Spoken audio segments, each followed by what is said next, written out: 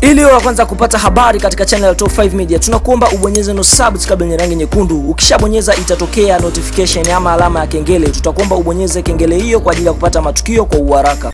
Hatimaye timu ya soka ya Yanga inayoshiriki ligi kuu nchini Tanzania almaarufu kama Vodacom Premium League siku ya leo imeweza kumaliza viporo vyake, ambapo walikuwa mkoani Dodoma kwa ajili ya kumenyana na timu inayofahamika kwa jina la JKT Tanzania, lakini mtanange huo umekwisha kwa timu hizo kutoshana nguvu kwa kufungana goli moja kwa moja, ambapo tumeona mtanange ulikuwa ni safi sana, unavyoambiwa timu ya JKT ama maafande hawa wamekataa kabisa eh, kufungwa na timu ya soka ya Yanga. Tunaona timu hiyo ya soka Yanga imetokea eh, kule mkoani Shinyanga na ilifanikiwa kuibuka na ushindi wa goli moja. Siku ya leo imeweza kubanwa mbavu na kutoka na ushindi wa suluhu. Tunaona timu ya soka Yanga kwa sasa eh, baada ya kutoa suluhu na timu ya soka ya JKT Tanzania imeweza kujivunia pointi moja na kuwafanya timu ya soka ya Yanga kuwa na pointi sabini na tano. Pointi hizo sabini na tano zinawafanya timu ya soka ya Yanga kushikilia nafasi ya tatu. Wamebaki pale pale, hawajasogea wala hawaja enda sehemu yoyote. Pia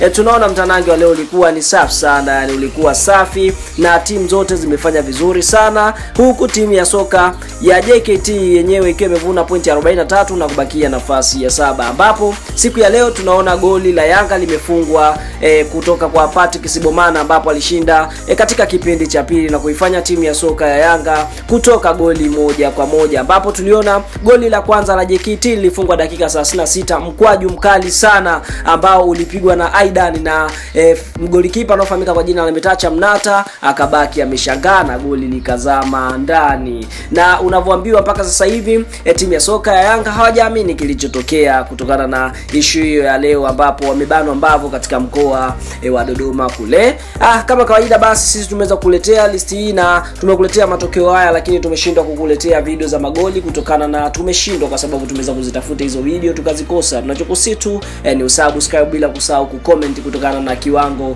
walichokionyesha leo timu ya soka ya Yanga, huku ukituambia ni mchezaji gani gani leo ameweza kucheza vizuri ama ni mchezaji gani uliyemkubali katika mechi ya leo. Asante eh, bye bye.